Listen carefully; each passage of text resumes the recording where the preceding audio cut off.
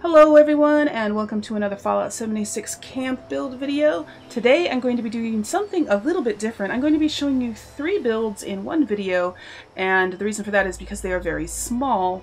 I decided to make three small, kind of unique, easy to blueprint and move, well easy-ish to blueprint and move builds um, obviously, blueprinting is flawed and you may not be able to move them, but chances are you're more likely to be able to move these than something larger.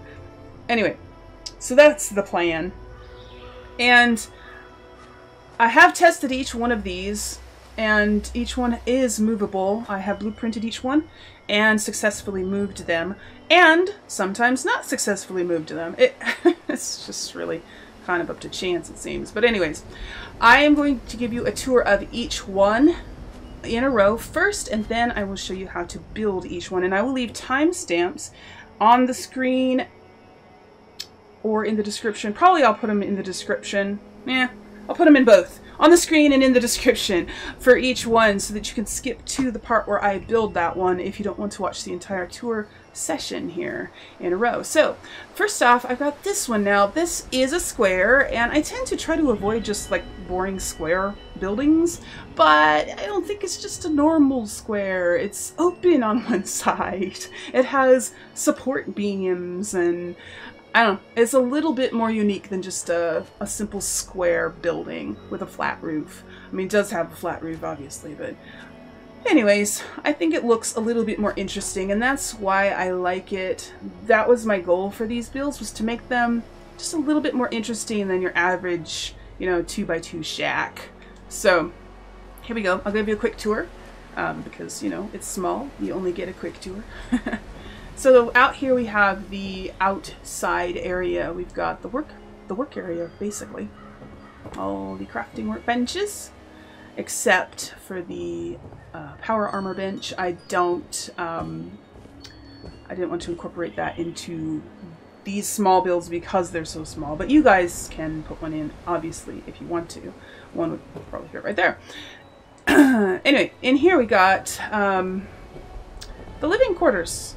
A bed, some furniture, a little kitchen area, and that is basically it. Now this uh, building is, well, you can blueprint the entire building plus all of the workbenches and most of the furniture without any trouble. There are a few decorations that I have up here that won't be included in the blueprint because um, the blueprint budget is too small.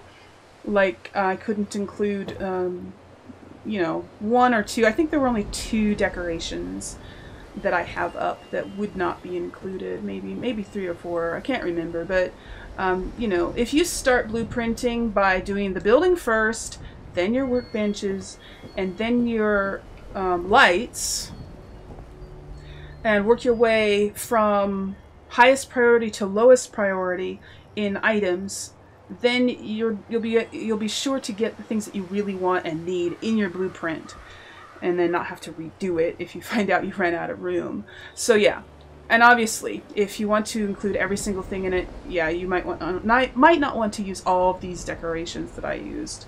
But I just mostly did it for show, for the tour. Anyways, now we do have this ladder on the back, or stairs, whatever, because I used upper floors. And upper floors won't go anywhere except attaching to a stair. Um, now the reason I used upper floors was because the, these beams won't snap to roof pieces. And they won't snap to foundation pieces either. They only snap to upper floors for some dumb reason. Don't ask me why. Um, so I wanted the beams because it looks cool and it looks more, you know, real. so unfortunately we have to have this back here. Now I cannot tell you how many people have asked me, and maybe they don't play Fallout 76. I mean, they must not play it. Or they must not have ever built anything in the game if they have played it. They always ask me, why can't you just take the stairs off after you put the floors on? Well, obviously I would if I could, because I don't really want this to be back here abs doing absolutely nothing. Um, but you can't. Um, If you haven't played this game before, you cannot take the stairs off after you've placed the floors down. The floors will not exist without the stairs. So, um, there you go. It's on there. But if you put another room up there, like for a generator room or something, and then the stairs could go up to that, and then they will serve a better purpose. But for now, there you go. I put them on the back so you can't see them normally, and I think it's fine. I mean, I don't mind it. I I think it's a nice, it's it's an okay sacrifice for having pillars in the front. Anyways, you guys, that's that build, and I'm not sure what to call this. I call it the half-open house. It's half open and half closed. So anyway, the next one is this one, and I call this the lean-to house because it's kind of leaning against itself, you know what I mean? I don't know, kind of looks like a lean-to a little bit.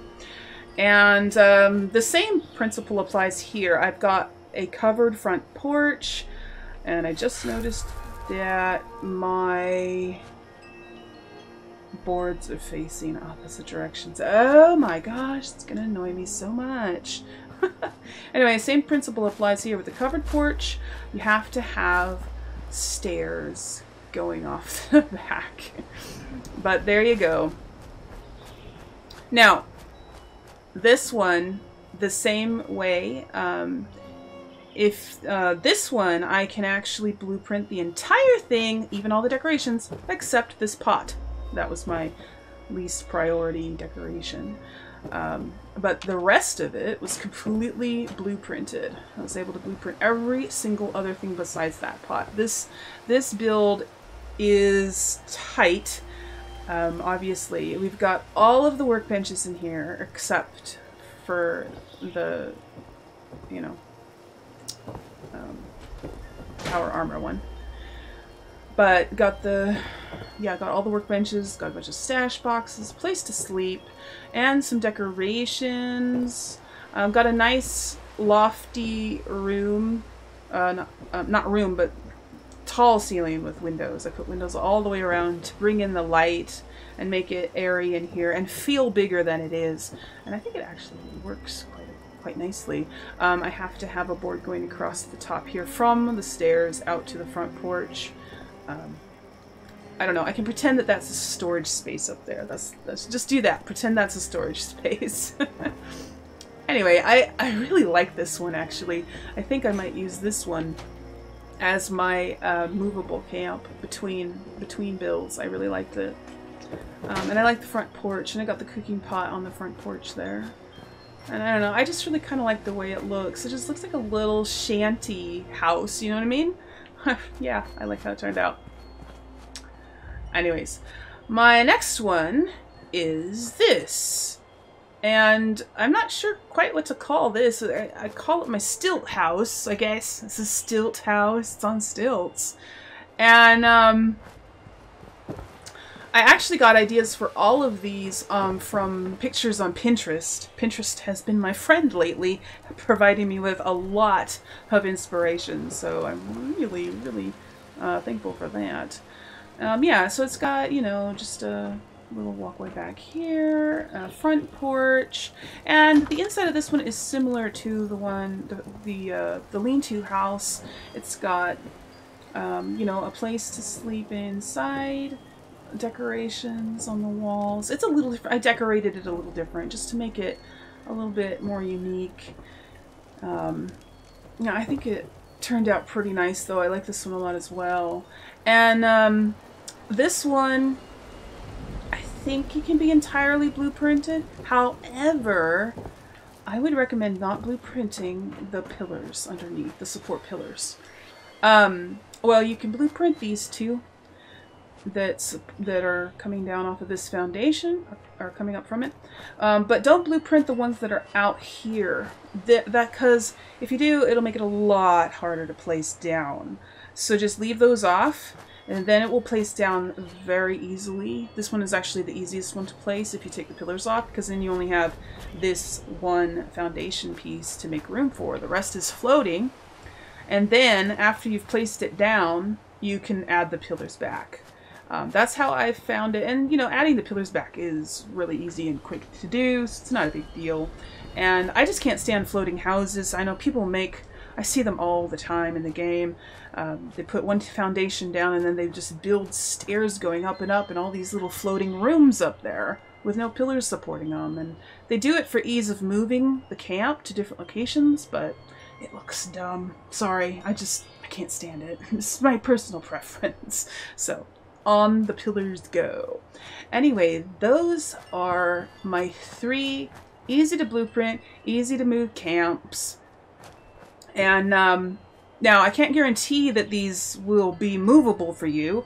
Um, it all really depends on the location that you move them to.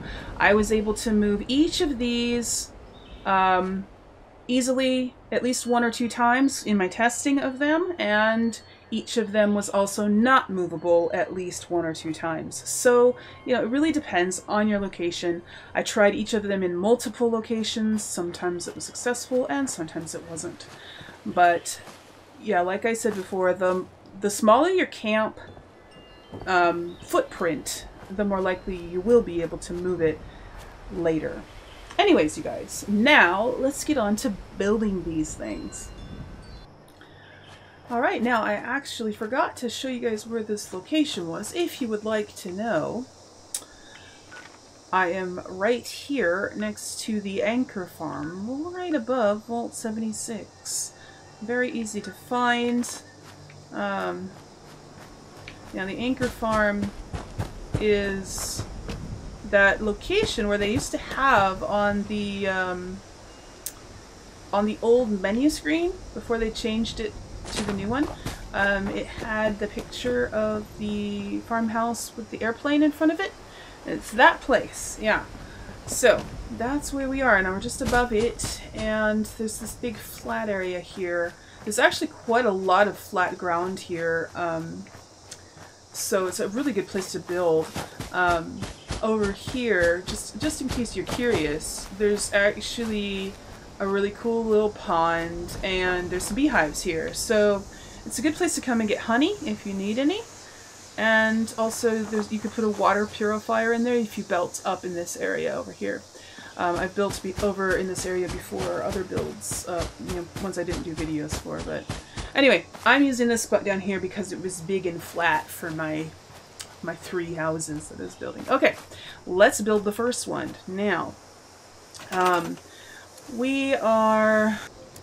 Okay, we are going to start with the floors, obviously. So now this one is going to be two by three. Let me see.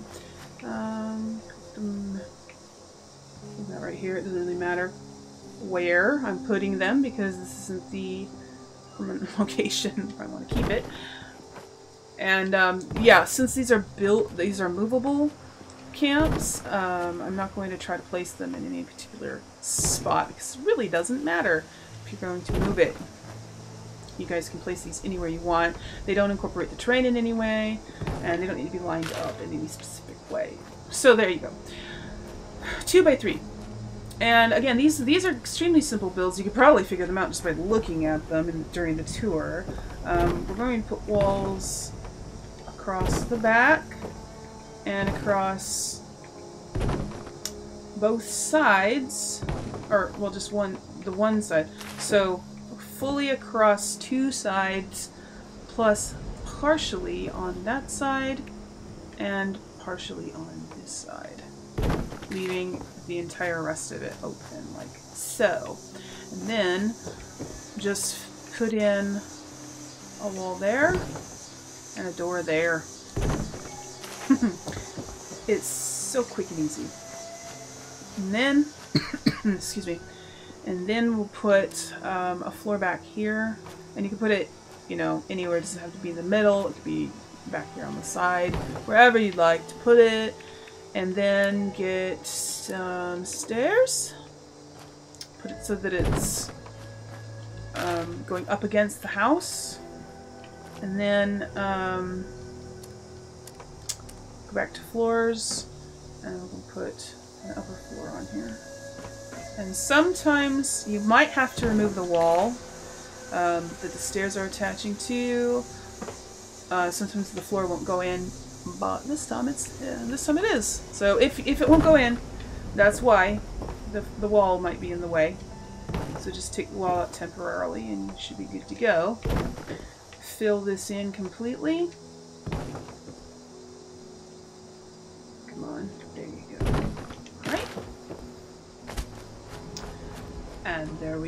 And then we're going to put in the pillars and we'll do the trick where you can put the pillars on the exact corner. And if you have not seen any of my other videos and haven't seen me do this before just get a flat um, not a flat sorry half size floor. It can be a full size one too but I like to use half size ones. Um, it's a little easier to differentiate between your roof and your temporary piece here the uh, pillars will snap to the middle of a floor piece, but not to the exact corners. So we need to put in,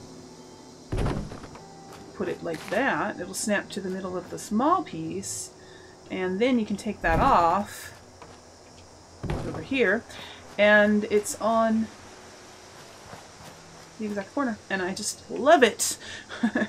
Put the other one the exact corner between the two others, and then you can remove that permanently and there you have it. Oh my, I'm losing my daylight already. I forgot to switch servers before I started recording my builds. Ah.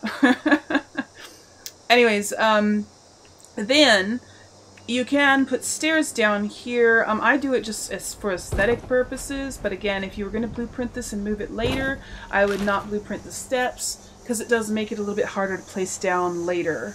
Um, they're easy to add once you place it down if you want them, or you can leave them off because you really don't need them. You can just walk up the, you know, the foundation without the stairs.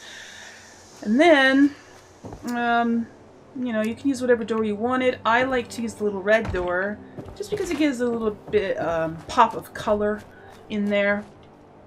Not make everything the same color, you know. Um, for this particular build, I used the little shack door because I think these house doors are just a little bit too fancy. I mean, there's a red one, there's a green one, there's a blue one, there's a pop of color there. I just feel like they don't fit with this build, you know what I mean? Anyway, there, you guys, that is basically it. You know, quick, easy to put together, and you can decorate it however you want. You can put your uh, workbenches in whatever configuration that suits you. Alright, now let's move on to the next one, but first I need to switch servers so I don't lose my daylight. Alright, nine servers later I finally found one where it was morning. Anyways, let's get back into this. Alright, so the next one is going to be 4 by 4 uh, not 4 by 4 sorry. 4 squares, but 2 by 2 And um, with one sticking out the back for this for the uh, required little extra stair piece. So, there we go. And it's going to be extremely simple, just like the other one, only a little bit more complicated than the other one. Alright, so now this one's going to have quite a few windows, so most of the walls are going to have windows on them. Uh, this one will have a window. Oh no, now I'm going to get some server lag. Great. This one will have a window, but the others, I think I would like them to be solid. Um, we're going to have most of the windows up above. Alright. So then, um, we're going to go down to the short floor. Put, um, oh, actually, I should make that a window. Because, yeah, like I said, all these up here are going to be windows. I accidentally placed the wrong one. Windows all around. Um, maybe not right there, though, because this um, area is going to be... Um, well, one doesn't go there anyways. What we want here is this these there, one of these there, and then uh, one up top of this, facing that way, and one up top here, facing other way. So I'll go out and get a better look so you guys can see what that's supposed to look like. Got it? okay. And then uh, we're going to put the roof. So I'm going to get a lot of bloom from the sunlight here. It's making it kind of a little bit difficult to see. Put a roof piece there, a slanted one, a slanted roof piece there, and a slanted roof piece there. And then up here, we're going to put another window like so. So we got, see it? Okay. Just make sure you guys are following along. Alright? Now, if you want to keep it simple, you could just leave it like that. You don't have to put the front porch on it, but I mean, you know, the, the front porch roof, I should say, because then that would eliminate the need for the extra little stair thingy in the back. But, you know, I don't know. I just love the look of covered porches. It's just like this little preference of mine. It just, I mean, non-covered porches are fine. They're just not as nice. so, you know, do what you like. Alright, so then let's get a floor to put up here. And like I said in the other build before, you might have to take a wall off temporarily in order to get the floor uh, to go on. In this case, it looks like we will need to do that. Probably need to take off this one as well. It's annoying, but whatever. You do what you have to do to make it work.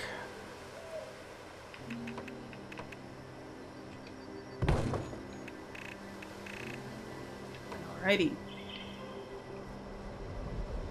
There we go. And once that's on, you can uh, put the floors out here uh, whoops, just fine. And uh, make sure they're facing the same way. I have somehow overlooked the fact that mine were different the first time I built this thing. and then um, we'll do the corner posts again with the uh, trusty technique. Move it down. What am I tripping on? Ah, there's a log there.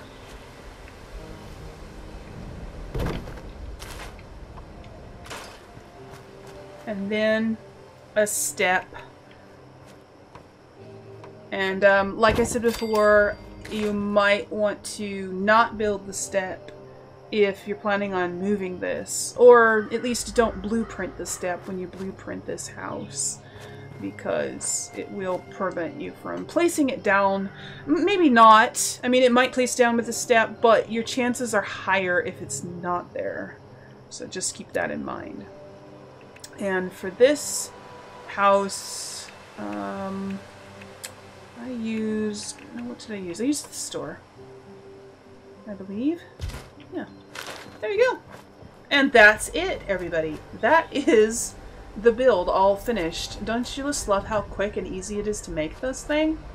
Yeah, so then again, you can decorate the inside however you like any configuration that you like. You can actually fit a lot inside these houses, more than you'd think. And it's also fun because it's such a small space, you can decorate them a lot. And they, you fit a lot of decorations in. It looks crowded because it's small. And so it feels, I don't know, just feels more decorated with hardly any decoration. If you put the same amount of decoration in a big room, it feels empty, but with these small rooms, it feels crowded. And I like highly decorated, uh, packed rooms. Anyway, so let's do the next one. The Stilt House. So the Stilt House, you only need one foundation piece. And, um, I'm gonna make these trees, this tree and rock bulldoze away. I didn't the first time I built it, and it was in the way. The tree was in the way, and I had to put a, a stalk of corn right there in it to make it go away. Anyway, um, put this down as low as it'll go in your particular location. That's as low as it'll go right here. And then get some stairs. And put them like this. Or you can put them um, out like that and have a little deck porch thingy down here, but um, you know, you can do it however you want. It doesn't really matter. I'm doing mine this way. And then we are going to put four floors up here. All facing the same direction. Come on, get up there. There you go. Four big floors. You can do it. I like to try to convince my build pieces to work for me. It usually doesn't uh, work. Either I'm not very charismatic or they are just stubborn. then I'm going to use um, one of these sort of more scrappy looking floor pieces up here. Uh, maybe maybe a solid one as well, just to make it a little bit different. So we got four big floor pieces and two half floors. All right. And for this build, I used wood. Uh, you can use whatever kind that you want. I just wanted to, you know, not make all of them the same. I used um, the warehouse pieces for both of those, so I thought maybe I'd use wood for this one. Um, anyway, I put a little window there, and yeah, I can't remember my window configuration, but it doesn't really matter. You can put windows here, there, or everywhere, whatever you want. I, I usually like to have a window on each side of the house so I can look out and see what's going on. Um, but yeah, you can uh, do whatever. I think I'll have a solid wall right there, though. And just because.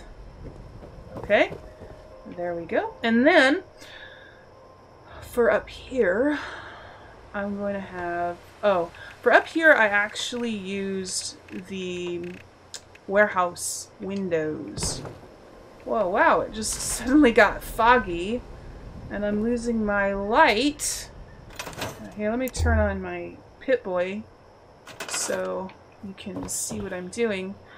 I put these windows up here because the uh, wood pieces um, don't have windows in their half walls for some reason, so I use the metal ones. And, you know, maybe it might look better if I did the entire thing metal, but I don't know. So I kind of do like the contrast. Um, and then put these things up here like that. And one on the other side. Like this. And the roof. There we go. Easy peasy. I'm gonna go over to defenses and scroll down for the railings. Put the big railing all the way around.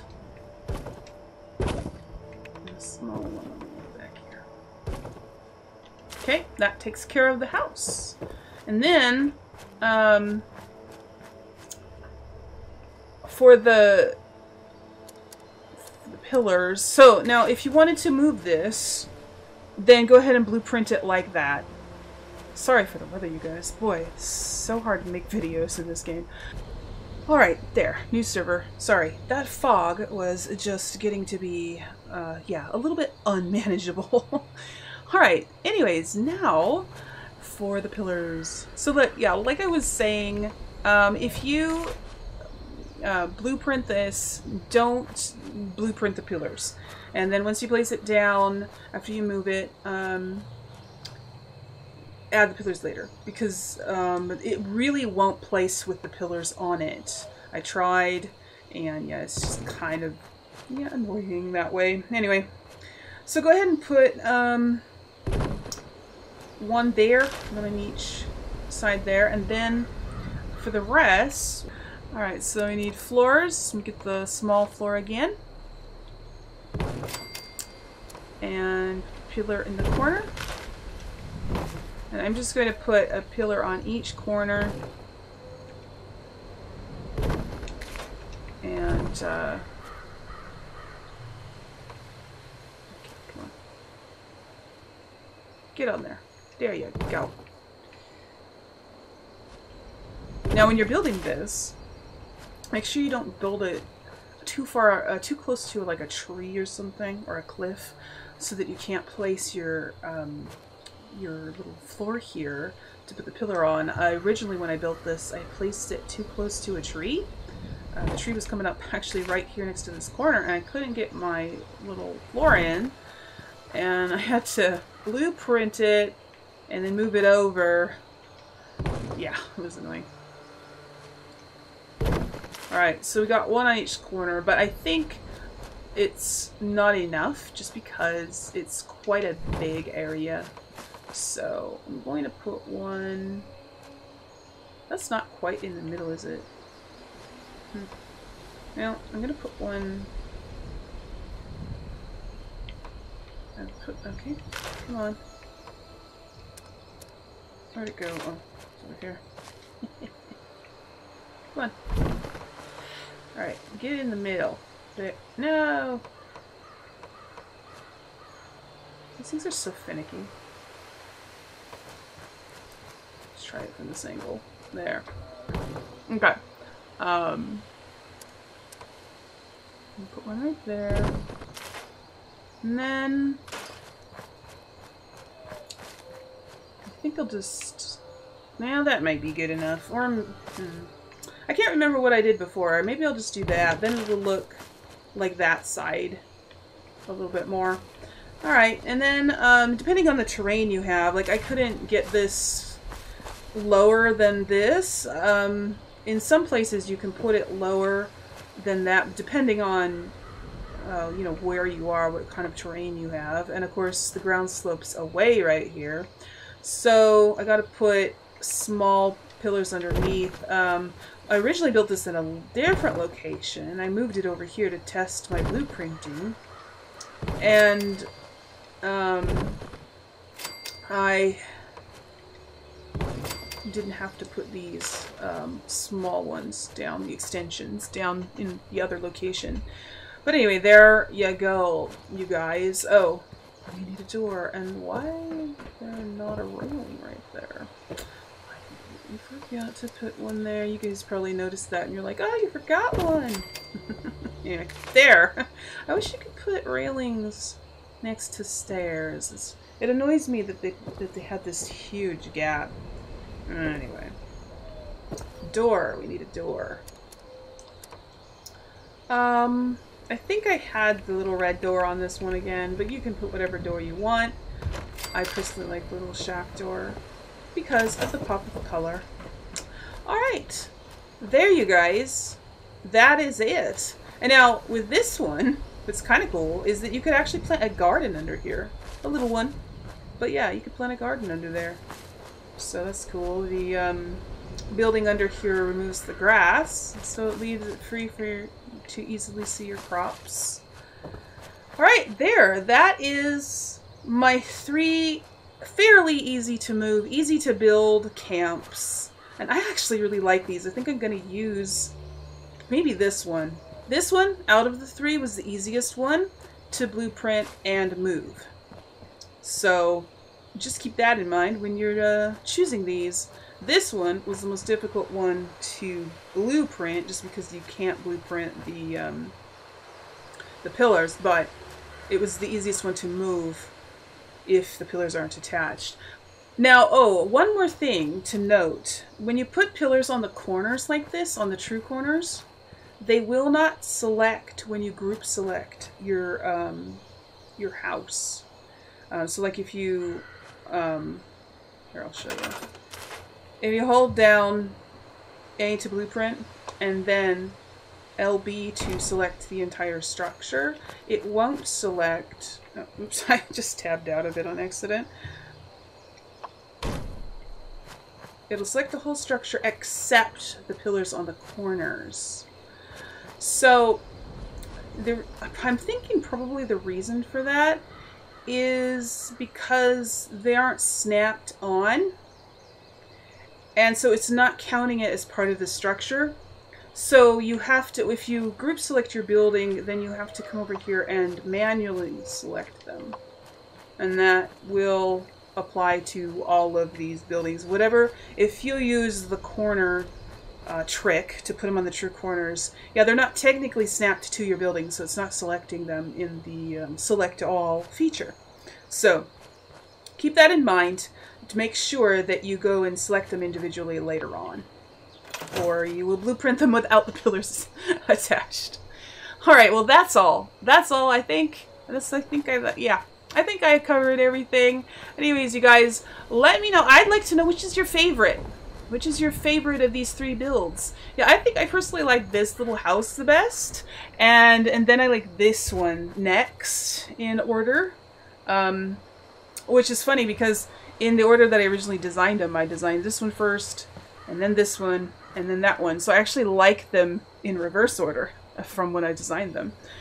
Anyway, I would love to know which ones you guys like the best and which ones you might use and if you uh, use them regularly and move them around I think I might use this one as my um, as my camp that I just sort of plop down between builds. I don't get to keep a permanent camp and uh, sometimes I just wish that I had a camp that I could move around easily, so I don't usually do that. I usually just build one and I leave it there until it's time to build another one, and I use it as my base.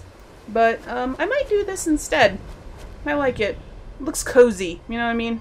Actually, most of these, all of these looked actually kind of cozy, especially with the lantern light. Anyways, you guys, enough rambling. Um, I hope you enjoyed the video, and if you did, give it a thumbs up. And if you haven't subscribed already, do so for more Fallout 76 uh, build videos like this one. And I also have a lot of Fallout 4 content as well. It's older content, but it's still, you know, really great. And I'm going to be having some more Fallout 4 content in the near future, so stay tuned for that. And until next time, you guys, remember to play safe, play nice, and have fun. Bye, guys.